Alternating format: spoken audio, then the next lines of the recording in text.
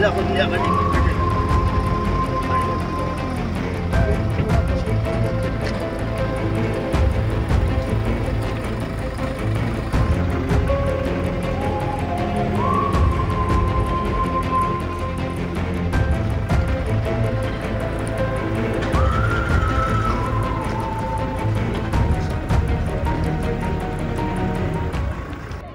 যোৱা তিনিদিনৰ পৰা জিৰিবামৰ ছিটুৱেশ্যন অলপ বেয়া হৈছে আৰু বেয়া হোৱাৰ কাৰণে বহুত কুকি সম্প্ৰদায় মাৰ সম্প্ৰদায় আৰু ইভেন মৈতেই সম্প্ৰদায়ৰ বহুত লোক ৰাইজ ইয়াতলৈ অসমলৈ আহিছে লক্ষীপুৰলৈ আহিছে। আহ, লক্ষীপুৰত এতিয়ালৈ কোনো ইনচিডেণ্ট নাই।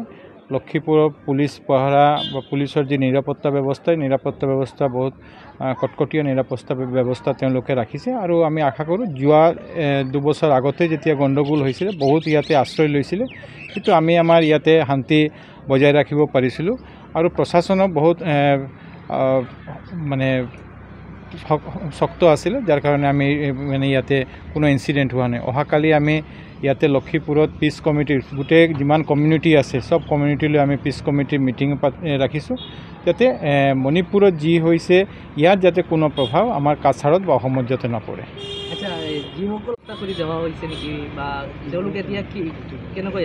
নাই এতিয়া তেওঁলোকে নিজৰ ৰিলেটিভ বা পৰিয়ালৰ লগতে আছে। যোৱা পৰহি দিনা আঢ়াইশমান ফেমি লোক মানুহ আহিছিলে। আজি তিনিশ চাৰে তিনিশমান আহিছে এতিয়ালৈ আমি যি খবৰ পাইছোঁ। তো এতিয়া আমিও কথা পাতি আছোঁ যাতে নতুনকৈ কি ব্যৱস্থা কৰা যায়। কিন্তু বহুত নিজে নিজে পৰিয়ালত নিজে নিজে আমাৰ যি সম্প্ৰদায়ৰ মানুহবিলাক আছে তেওঁলোকৰ ঘৰতে তেওঁলোকে এতিয়ালৈ আশ্ৰয় লৈছে।